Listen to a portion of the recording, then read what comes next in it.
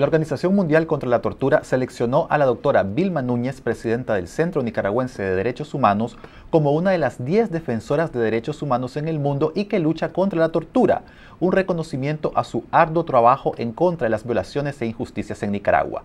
Y para hablar de ese reconocimiento y del Día Internacional por los Derechos Humanos, nos acompaña hoy la doctora Núñez. Muchas gracias por estar aquí con nosotros, doctora. Bueno, muchas gracias. Felicidades por el premio. Bueno, en realidad no, no es propiamente un premio. Un reconocimiento sino internacional. Que es un reconocimiento institucional de la Organización Internacional eh, de Derechos Humanos, la Organización Mundial contra la Tortura con sede en Ginebra, que decidió eh, conmemorar el 10 de diciembre e iniciar la conmemoración de sus 30 años de, de lucha por los derechos humanos en el mundo, haciendo un reconocimiento a 10 eh, defensoras y defensores de derechos humanos de todo el mundo. Eh, un reconocimiento que se celebra aquí justo en el día en el que se conmemoran 67 años de la Declaración de los Derechos Universales. 67 años hoy. ¿Qué tal estuvo la marcha? Hemos visto en el video que hubo bastante participación. Sí, bueno, nosotros consideramos, ¿verdad?, que este, las expectativas que teníamos con respecto a la marcha se cumplieron. No tuvimos ningún obstáculo, pudimos este, organizar toda la participación de los promotores de derechos humanos de la red Padre César Heré, del CENID, de las diferentes comarcas, municipios y, departamentos. Y nos acompañaron también participando en la misma diferentes organizaciones de la sociedad civil de aquí de Managua y de algunos otros departamentos con los cuales el CENID mantiene una relación de trabajo. ¿Temieron en algún momento que en esta manifestación de hoy se diera algún tipo de intimidación de parte del gobierno como hemos visto en otras manifestaciones que se han hecho? Bueno, sí, siempre uno está preparado, eh, la forma como se actúa aquí ante acontecimientos de esta naturaleza, pero tenemos nosotros que decir que en esta ocasión solicitamos, informamos a la policía que en la ruta de nuestra marcha, la decisión de realizarla, y entonces no, ni siquiera nos pidieron la fianza que normalmente este, exigen que se rinda, nos dijeron que estaba garantizada del despacho de la primera comisionada avisaron que estaba garantizada toda la, la, realización de la marcha y que no había ningún obstáculo y que más bien iba a haber participación, vigilancia por parte de la policía.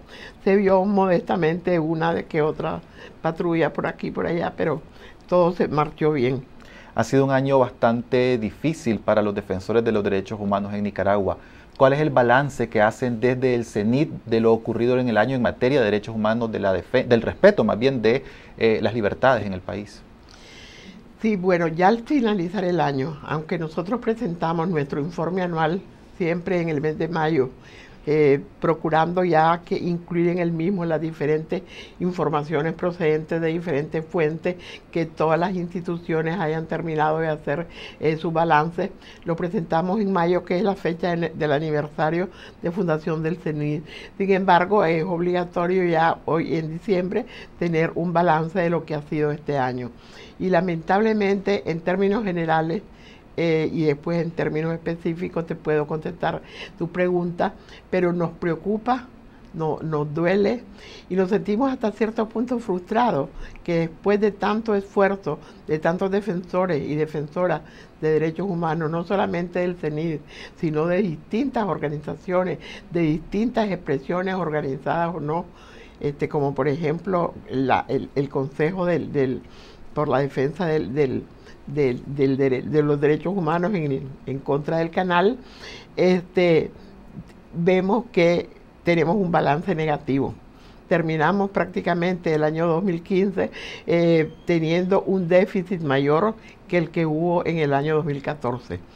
Eh, y sí es verdad que en el 2015 se profundizó el deterioro institucional, la destrucción de la institucionalidad de las diferentes instancias gubernamentales, la instrumentalización de la policía como eh, órganos de represión, la utilización del ejército como una instancia de intimidación, porque eso es lo que pasa en, las comunidades. La policía reprime y el ejército intimida con, con su presencia, con los esfuerzos de militarización, tal vez muy exagerado a veces decirlo, pero sí su presencia es intimidatoria. Entonces vemos que sí, que hay un deterioro, hay un avance que se refleja fríamente en diferentes cifras. Eh, hasta el momento llevamos ya contabilizados más de 1.500 denuncias que se han recibido en el CENIL de casos individuales y de casos este, colectivos. Esas denuncias tienen que ver eh, con algún tipo de represión, de violaciones, encarcelamientos? la mayoría de las denuncias en que van encaminadas. De, de, de todo tipo de, violaciones de derechos humanos, de derechos civiles y políticos, de derechos económicos, sociales y culturales. Y fundamentalmente han habido este, problemas muy serios en cuanto a la libertad individual, la falta de acceso la justicia, el derecho este, a manifestarse, el derecho este, a protestar, muchos problemas de reclamos en cuanto a la tenencia de la tierra, muchos problemas de carácter, de carácter laboral. Sin embargo, nosotros tenemos que, al, analizar lo que ha pasado este año, vemos que ha habido un endurecimiento y un deterioro más grave de la situación a partir del mes de septiembre para esta parte. En el mes de septiembre, precisamente el 14 de septiembre, arranca una, pudiéramos decir, una oleada represiva que ha tenido continuidad en el tiempo hasta, hasta el día de hoy, donde podemos contar eh, aproximadamente unos 14, 15 conflictos colectivos. En, arrancó en Huaspán. Eh, con el pretexto de, no estar de acuerdo con la realización de, una celebración de las fiestas patrias y resultó muerto o mataron a un dirigente indígena de Yatama. Continúa esta represión en contra de los indígenas con lo que se da el 28 de, octubre con motivo de la celebración de la autonomía por parte de, los Yatama cuando grupos de la juventud sandinista se enfrentan con lo de Yatama, interviene la policía y resulta un muchacho o un joven, no tan joven, pero una persona de 37 años, nos dijeron aproximadamente sus familiares, de la juventud sandinista, no sé por qué estaba en la juventud, este, resulta muerto, no hay ninguna investigación y la familia no habla absolutamente español.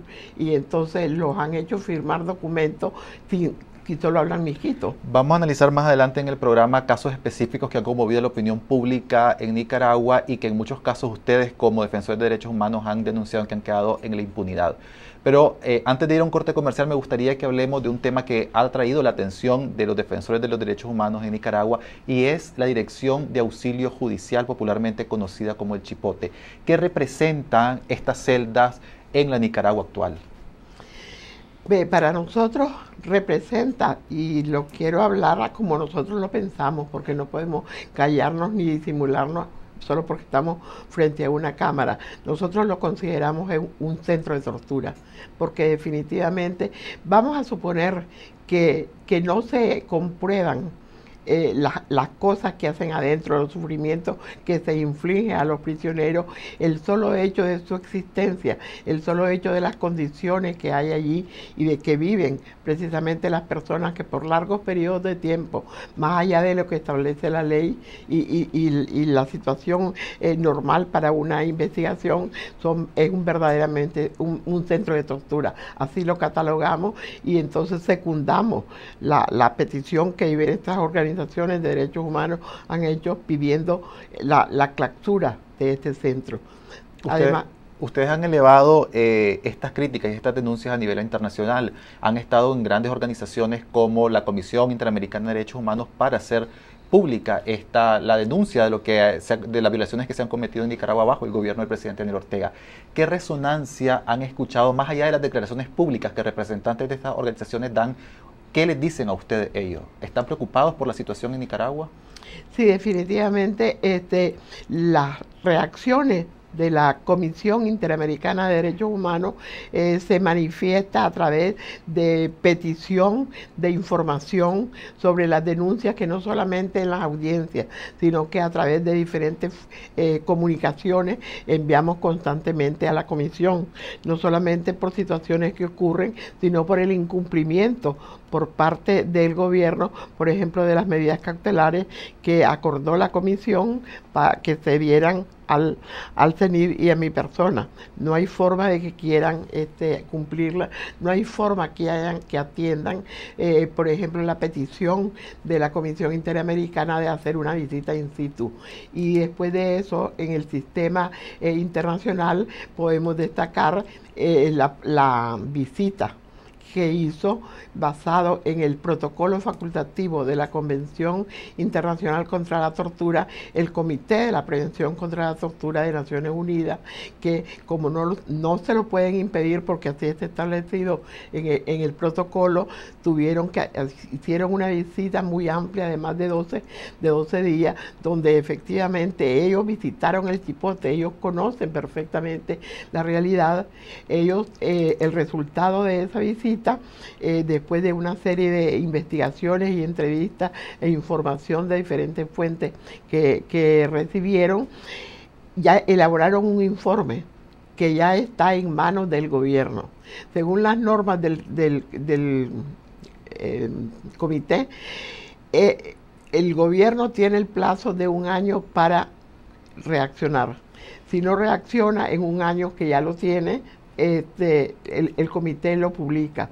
O si no, o si, o si el gobierno manipula el informe al, al, publicarlo, también el comité lo publica, pero no lo ha hecho. Estamos esperando eso. Vamos a ir a un corte comercial, eh, doña Vilmi, regresamos para hablar, seguir hablando del tema de la situación de los derechos eh, humanos en Nicaragua. Volvemos. Nos acompaña la doctora Vilma Núñez, presidenta del CENIT, con quien estamos hablando de la situación de los derechos humanos en Nicaragua y el balance que hace el CENIT de este año que ha sido bastante criticado por las violaciones que se hacen desde el poder. Gracias, doña Vilma, por seguir con nosotros. Un caso que conmovió eh, a todo el país y que tuvo resonancia internacional fue la masacre de las agüitas. me gustaría saber ¿Qué seguimiento le han dado ustedes y cuál es la situación actual de este caso? Sí, bueno, ustedes saben que después de, esta lamentable situación o condenable situación eh, que se dio, prácticamente hubo un juicio que dejó más dudas que respuestas.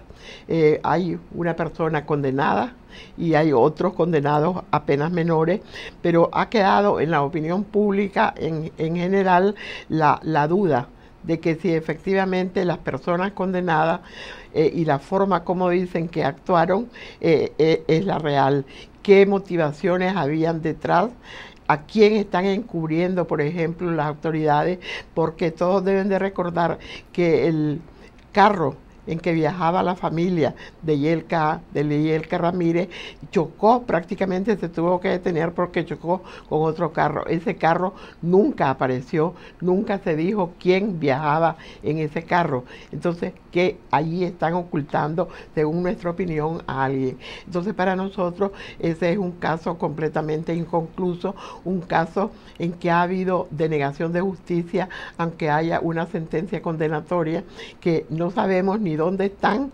eh, cumpliendo la sentencia condenatoria efectivamente y a cuántos son los que ya están listos para salir. Eh, sin embargo, hemos tenido información de que para buscar cómo eh, calmar la indignación popular que surgió de este caso y buscar cómo de alguna manera acallar el reclamo justo de, la familia afectada. Y valiente, eh, perdón, eh, doña Vilma, porque la señora Yelka Ramírez demostró un coraje bastante fuerte en el país después de que se dio esta masacre exigiendo que se cumpliera la justicia, ¿no? Prácticamente ella fue la, la figura emblemática del reclamo de justicia, en demanda de, justicia, pero hasta el momento todas las... Eh, informaciones o todos los ofrecimientos que le hicieron para buscar cómo paliar de alguna manera y resarcir eh, los daños causados eh, económicos, eh, morales y, y, todo lo demás que está establecido en la ley no lo, no lo han cumplido. Incluso tenemos conocimiento de un acto verdaderamente que vamos a tratar de investigarlo hasta ver hasta dónde es cierto. Eh, ustedes saben que en ese caso hubo prácticamente un secuestro de los muertos, un secuestro de las víctimas. Las autoridades políticas de este país, encabezados en este caso por la alcaldía y la primera comisionada granera, se hicieron cargo prácticamente de todo y prácticamente llevaron a la familia, eh, la, llevaron a enterrar a los muertos a jardines del recuerdo hemos tenido información que a estas alturas no les han entregado la escritura del terreno donde están entregados sus deudos y por consiguiente ni siquiera les han podido poner una placa. Esto lo vamos a verificar, pero es una información de primera mano que tenemos. Contrasta la actitud de secretismo de la primera comisionada Minta Granera eh, en los meses después, posteriores al caso, con su primera reacción, que fue una reacción de una mujer indignada y dolida ante las cámaras por la masacre que habían cometido sus oficiales. Sí, definitivamente este, hay un, doble parámetro o, un cambio de, actitud evidente en este caso, porque yo en el primer momento vi a una aminta granera, casi a la aminta granera que yo este, que yo conocí, dolida ante una tragedia, no solamente por la tragedia humana de la, de víctima, sino por la destrucción de esa institución a la que ella tanto, por la tanto apostó y que definitivamente este, se la desbarataron. ¿Usted de alguna manera ha tenido algún contacto con ella, ha podido hablar con ella, le ha hecho el planteamiento crítico eh, personalmente? Últimamente no, últimamente no. Este, definitivamente el, el creo yo que una de las víctimas de la, de la, de la destrucción de la institucionalidad de que, de que hablamos es precisamente la destrucción de la institucionalidad de la policía.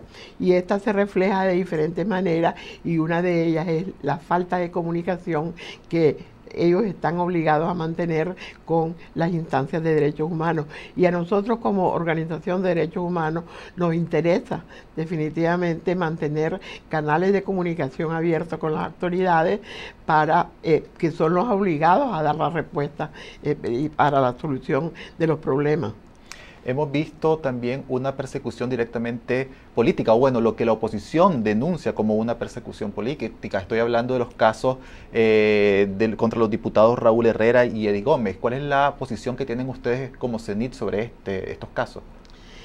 Sí, definitivamente nosotros consideramos que esto este, es una persecución política, eh, que son este, víctimas precisamente de esta, de esta estrategia de, luchar o de destruir todo lo que es crítico, ¿verdad?, por parte del gobierno. Pero fíjate que en medio de toda esta persecución política, de que están siendo víctimas, de que han sido víctimas ya estos dos eh, diputados del PRI, en lo cual se une a otros anteriormente, este, es lo más triste es precisamente que el instrumento para esa represión es el Poder Judicial. Entonces, a los defensores y defensoras de derechos humanos nos duele tremendamente y nos sentimos con una sensación de impotencia muy grande al, ver que tenemos un Poder Judicial completamente sin independencia, un Poder Judicial que en vez de hacer lo que dice el artículo 160 de la Constitución, que es garantizar los derechos humanos de los nicaragüenses, se convierte prácticamente el verdugo del poder político. Y en ese eh, sentido está la otra cara, que es también la Asamblea Nacional, que recientemente aprobó la Ley de Seguridad Soberana. Eh, ¿Qué preocupaciones genera dentro de Defensores de Derechos Humanos, específicamente del CENIT, este, este nuevo reglamento?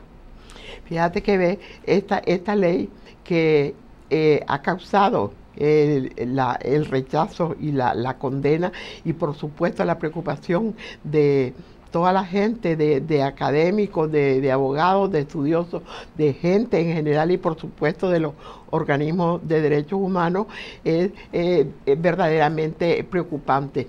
Y aquí también se ve con esta aprobación de esta ley y de otras anteriores, como también la Asamblea Nacional, que es el foro político por excelencia y el donde prácticamente que es como el contrapoder, el contralor, pudiéramos decir, de las actividades de un ejecutivo se ha convertido prácticamente en un grupo de personas obedientes que únicamente se dedican a aprobar eh, leyes con trámites de urgencia que les manda, eh, que ni siquiera se discuten porque no eh, han este, eliminado totalmente el procedimiento de la consulta que está previsto en el proceso de, formación de las leyes esta ley de seguridad soberana, como le han llamado, es una soberana cosa antijurídica.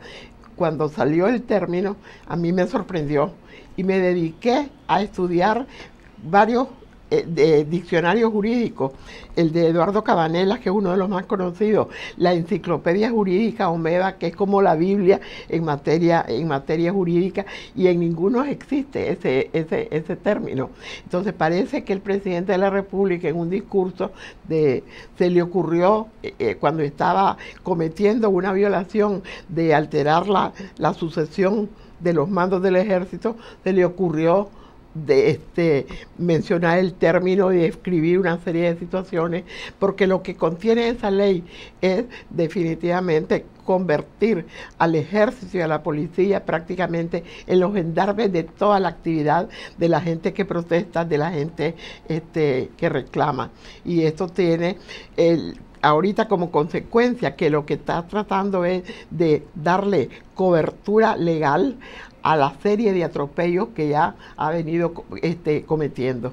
Bueno, el mismo, la misma jefa de la Policía Nacional nombró al presidente Ortega el jefe supremo de la Policía Nacional.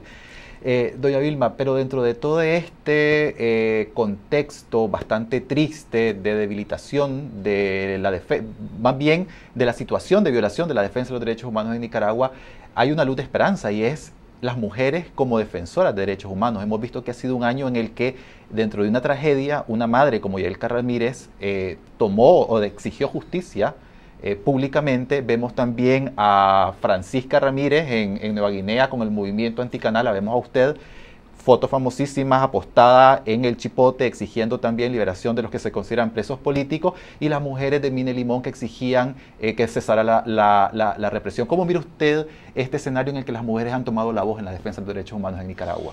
Ve, fíjate que no te dijera que en este momento han tomado la voz históricamente la mujer nicaragüense ha sido en diferentes momentos actora principal de las luchas de este país. Lo que pasa es que en muchas ocasiones no se le ha reconocido. La revolución misma, la mujer fue partícipe y pilar fundamental en la realización de las mismas. Y te lo quiero dar eh, con un ejemplo, no solamente mencionando la serie de actividades que no se pudieran haber hecho sin la participación activa de las mujeres, muchas veces en forma anónima, pero te lo voy a dar con un ejemplo eh, de carácter militar. La primera ciudad liberada que fue León, liderada militarmente, el Estado Mayor era jefiada por mujeres, estaba dirigido por Dora María Telle, ahí estaba Leticia Herrera, Anita Morales, ahora ministra de, gobernación y así sucesivamente. O sea, la mujer ha sido eh, una luchadora incansable en, en, este país y son muchísimos los nombres que podemos eh, recordar desde desde hace muchísimos años y muchísimo tiempo, este, donde definitivamente la mujer nicaragüense ha tenido un rol eh, determinante, ¿verdad?, en las luchas. Y no es por casualidad de que prácticamente el movimiento de mujeres de entre todas las organizaciones de la, de la sociedad civil y que nadie se moleste por, por esta afirmación, es mi criterio, es mi valoración, que el movimiento de mujeres es el que da a la cabeza de todas las luchas y es que es punta de lanza en cualquier otra organización. Muchas gracias, doña Vilma, presidenta de CENIT, por estar hoy aquí con nosotros.